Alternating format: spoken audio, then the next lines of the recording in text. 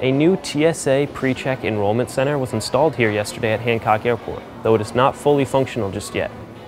Though the booth is ready to go, the employees are not. New people will be flown into Syracuse, and then they must go through training and an FBI screening process in order to be qualified to enroll passengers in the PreCheck program.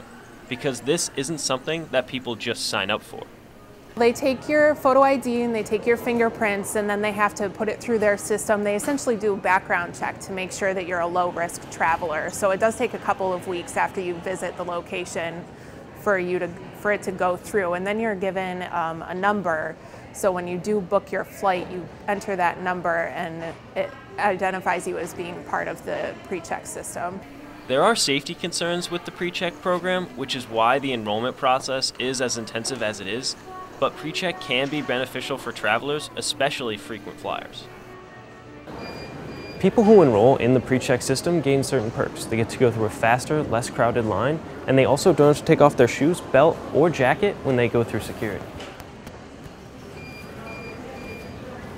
PreCheck has been available at Hancock Airport for over two years now, but the enrollment process was a hassle for a lot of Central New Yorkers.